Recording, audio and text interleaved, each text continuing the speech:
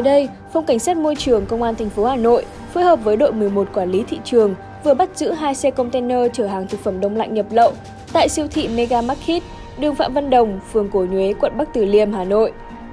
Kiểm tra tại hiện trường, lực lượng chức năng phát hiện nhiều thùng hàng chứa hàng tấn lưỡi vịt, trứng non và nầm lợn đông lạnh có tem nhãn Trung Quốc. Tại thời điểm kiểm tra, lái xe không xuất trình được hóa đơn chứng từ của các mặt hàng này. Theo người lái xe, số hàng này chuẩn bị được vận chuyển vào các tỉnh miền Trung và thành phố Hồ Chí Minh để tiêu thụ. Đại diện của siêu thị Mega Market cho biết, hành trình từ Hà Nội về lại thành phố Hồ Chí Minh, xe chở gì thì siêu thị không kiểm soát được, dù việc bốc xếp hàng thực hiện ngay trong sân siêu thị, xe container cũng của siêu thị.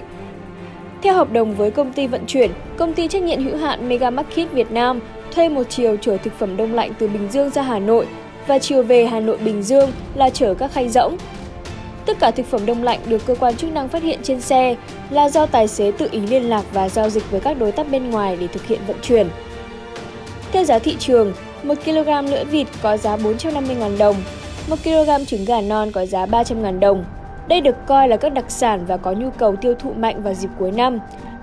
Hiện cơ quan chức năng đã tiến hành lập biên bản và làm thủ tục tiêu hủy toàn bộ lô hàng này.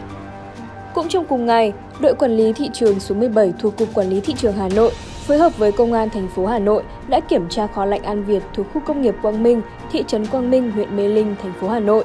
Qua kiểm tra, lực lượng chức năng phát hiện đây là nơi chứa của 25 tấn đùi gà hun khói do Hàn Quốc sản xuất, không có hóa đơn chứng từ chứng minh nguồn gốc xuất xứ. Trong đó, 12 tấn đã hết hạn sử dụng từ ngày 9 tháng 3 năm 2019, đang được chủ cơ sở dán lại mát hạn sử dụng đến ngày 1 tháng 3 năm 2020. Lô hàng ước tính có giá trị khoảng 5 tỷ đồng.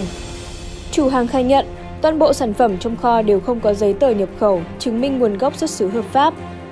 Khi thấy sản phẩm sắp hết hạn sử dụng, chủ cơ sở đã tự ý thay đổi bằng cách điều chỉnh nhãn mác. Theo ông Nguyễn Ngọc Hà, đội trưởng đội quản lý thị trường số 17, khi lực lượng chức năng kiểm tra, chủ kho đã cất giấu một lượng lớn sản phẩm hết hạn trong kho hoa quả, sử dụng các kệ để che lấp. Tuy nhiên, vì số lượng quá lớn, chủ hàng không thể cất giấu toàn bộ sản phẩm đã hết hạn sử dụng. Đoàn kiểm tra cho biết, toàn bộ sản phẩm được đóng gói trong các thùng cắt tông đã rách nát, chảy nước, có mùi hôi thối. Một nửa trong số đó có hai nhãn hạn sử dụng được dán đè lên nhau. Đối với những sản phẩm đã được tẩy hạn sử dụng cũ thành công, sẽ được gắn chữ đã lọc để chuẩn bị vận chuyển ra thị trường. Được biết, tại Việt Nam, một đùi gà tây hun khói Hàn Quốc đang được giao bán từ 200 đến 250 000 đồng một chiếc, sản phẩm rất được ưa chuộng trên thị trường hiện nay. Hiện lực lượng chức năng đã tiến hành tịch thu toàn bộ sản phẩm, đồng thời phối hợp với các đơn vị liên quan làm rõ địa chỉ mà cơ sở phân phối để xử lý theo quy định của pháp luật.